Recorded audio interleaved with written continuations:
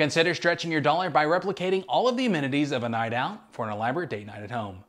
Create the atmosphere by setting a formal table that includes a tablecloth, cloth napkins, a small vase of fresh cut flowers, and candles. Dim the lights and pop the champagne or wine. By purchasing your own bubbly, you'll get more glasses for your money. Look to the deli of your local gourmet grocer for pre-prepared salads and side items. That's also where you'll find easy to prepare entrees to warm in the oven. Voila! The rest of the evening is yours to enjoy. You'll likely find extra savings you can use towards this date night by cashing in on your Arvest Flex rewards. This credit card program has no monthly fee and you can redeem points for gift cards, cash back, and more. And who knows, with the points you earn on eligible purchases, you might treat yourself to an exciting excursion in the future. Visit arvest.com slash rewards to learn more.